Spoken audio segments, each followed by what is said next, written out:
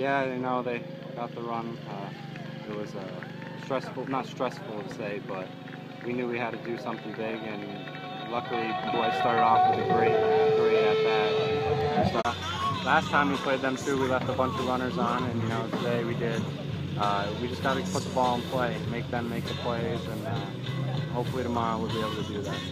I, you block them out once you're in the game. Once you're playing, it's just baseball. It's the same as every game, and uh, you want to go out and put in your best effort and hope for the best outcome.